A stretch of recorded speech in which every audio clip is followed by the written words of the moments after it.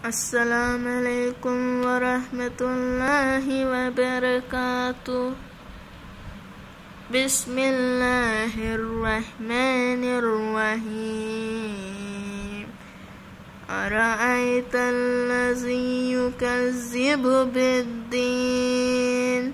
فذلك الذي يدعو اليتيم.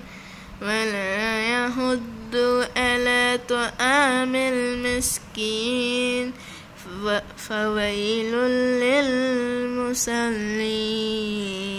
الذين هم عن صلاتهم ساهون.